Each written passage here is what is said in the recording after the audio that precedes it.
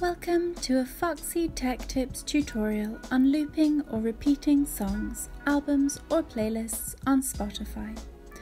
I'll show you how it's done both on PC and mobile. If you find this video helpful, please consider subscribing to my channel and liking the video.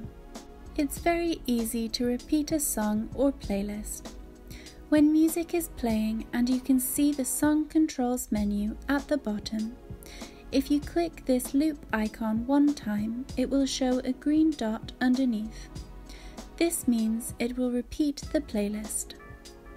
If you tap the loop button a second time, a green 1 will appear on the icon, and that means that the current song will be repeated.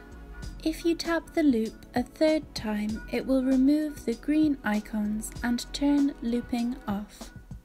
So again, tap the loop button once to repeat the playlist.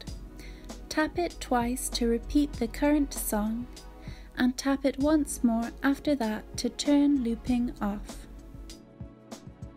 On mobile, it is exactly the same. Just tap the loop button at the bottom right of the song controls.